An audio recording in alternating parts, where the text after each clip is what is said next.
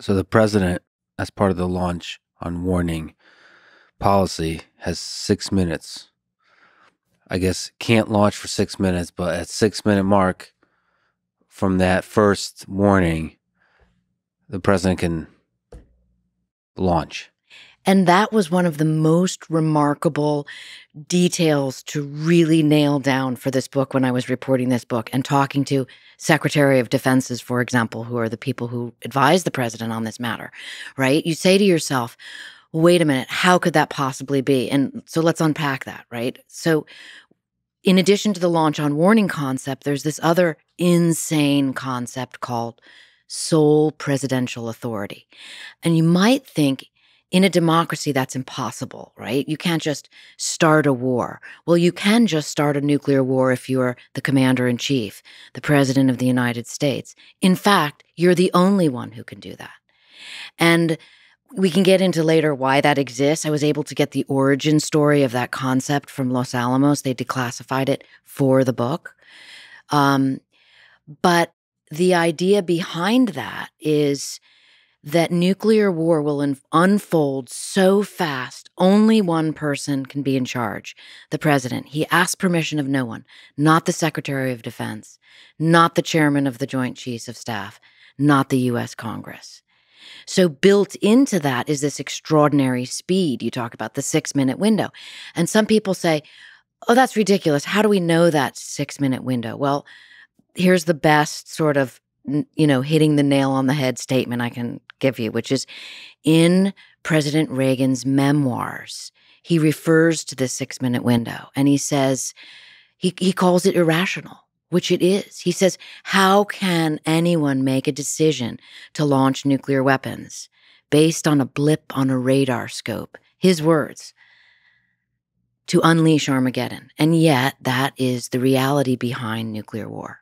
Just imagine sitting there, one person because the president is a human being. Sitting there, just got the warning that Russia launched. You have six minutes. You know, I, I meditate on my immortality every day, and here you would be sitting and meditating, contemplating not just your own mortality, but the mortality of all the people you know, loved ones. Just imagining like what what would be going through my head is all the people I know and love like personally, and knowing that there'll be no more, most likely. And if they somehow survive, they will be suffering and will eventually die. I guess the question that kept coming up is how do we stop this? Is it inevitable that it's going to be escalated to a full on nuclear war that destroys everything? And it seems like it it will be. It's inevitable in the position of the president, it's almost inevitable that they have to respond. I mean, one of the things I found shocking was how little apparently most presidents know about the responsibility that literally lays at their feet, right? So you may think through this six minute window, I may think through this six minute window. But what I learned, like, for example, former Secretary of Defense Leon Panetta was really helpful in explaining this to me because before he was SecDef, he served as the um, director of the CIA.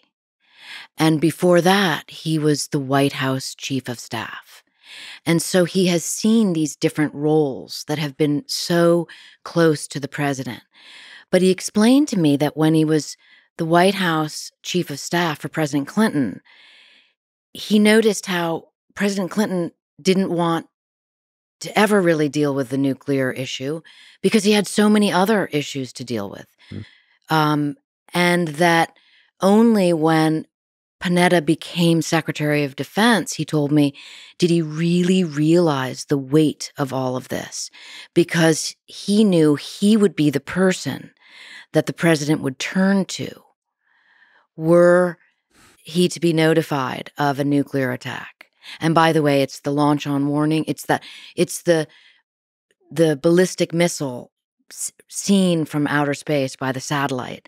And then there also must be a second confirmation from a ground radar system. Mm. But in that process, which is just a couple minutes, everyone is getting ready to notify the president. And one of the first people that gets notified by NORAD or by Stratcom or by NRO, these different parties that all see the early warning data. One of the first people that's notified is the Secretary of Defense, as well as the chairman of the Joint Chiefs of Staff, because those two together are going to brief the president about, you know, sir, you have six minutes to decide. And that's where you realize the immediacy of all of this is so counter to imagining the scenario. And again, all the presidents come into office, I have learned understanding the idea that de- of deterrence, this idea that we have these massive arsenals of nuclear weapons pointed at one another, ready to launch, so that we never have nuclear war. Mm. But what we're talking about now is what if we did? What if we did? And what you've raised is like this really spooky, eerie subtext of the world right now because many of the nuclear armed nations are in direct conflict with other nations. And for the first time in decades, nuclear threats are actually coming out of the mouths of leaders. This is shocking.